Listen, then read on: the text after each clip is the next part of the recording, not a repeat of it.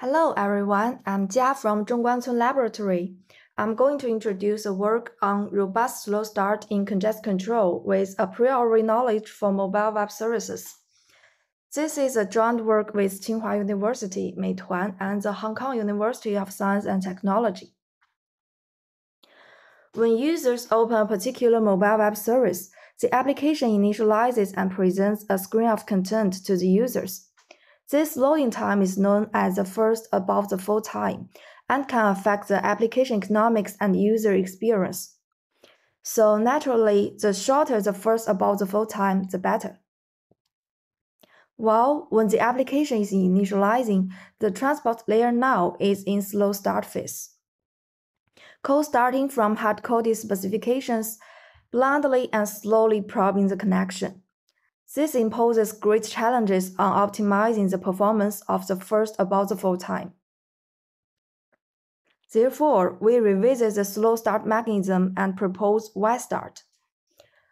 With a priori knowledge of application and network conditions, Y-start could perform a hot start and directly use the appropriate initial congestion window and sending rate. However, merely citing the slow start can be fatal in some cases. Firstly, the available bandwidth can fluctuate and be different from the prior knowledge. So Y-start should continuously probe the available bandwidth to update the prediction for the new connection. Secondly, the application traffic pattern affects the estimation of the available capacity as well.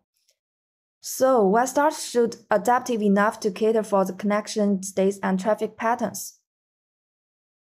Y-start in response uses an initial parameter design to reuse the a priori knowledge, a probe designed to quickly and accurately probe new connections, and an adaptation design to adapt the bandwidth estimation methods to the application limit scenarios.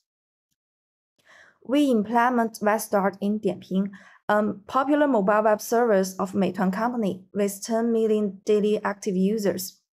Comprehensive experiments demonstrate that Y-start reduces the average request completion time at connection establishment by 16 on average and 52 on the 99th percentile.